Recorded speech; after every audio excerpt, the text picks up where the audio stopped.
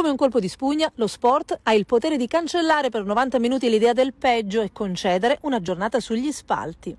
Dopo 11 anni torna il derby della Riviera dei Cedri, ma la storia viene stravolta perché a vincere è lo Scalea. Gara di galoppo sugli esterni di gamba giovane, di esperienza nel reparto centrale, maturo e coadiuvato dalla regia.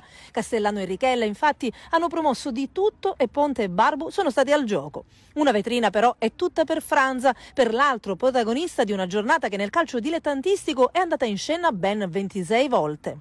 Le azioni più belle hanno visto i biancostellati di casa farsi notare dopo sei minuti di gioco, con un flipper di movimenti e di palla e con questo a finire tra le braccia di Franza. Il portiere del Belvedere prima esce con i pugni sulla trasformazione di Curcio, poi si vede spiovere dalla traversa la stessa sfera schiaffeggiata d'esterno da Pizzoleo. Un minuto dopo c'è una palla inattiva anche per Monteiro, c'è anche la testa di Mandarano, ma il fallo dello stesso invalida la rete. Al dodicesimo ancora Scalea, sempre da punizione, sulla sfera si avventano Pizzoleo e Capomaggio per spingerla a rete, ma la migliore spinta però è quella di Franza di corpo in uscita. È un preludio strano, ma funziona, perché al quindicesimo lo Scalea è ancora in aria e Angotti si guadagna e poi trasforma un rigore determinante. L'azione riparte grazie al recupero di Ponte, con Curcio a mettere in mezzo e Bilotta a peccare. Dopo il vantaggio si diradano le occasioni esterne. Sia Monteiro che Mandarano si affidano alla palla inattiva e ben figurano nella sua traduzione. Niente specchio però, né per loro né per Castellano, Bertini e Curcio. Il centrocampista tenta la bordata al ventitreesimo. Il suggerimento partiva da Barbu. Dal suo secondo tocco, dopo quello con cui la sventagliata di Capomaggio gli aveva favorito il contropiede.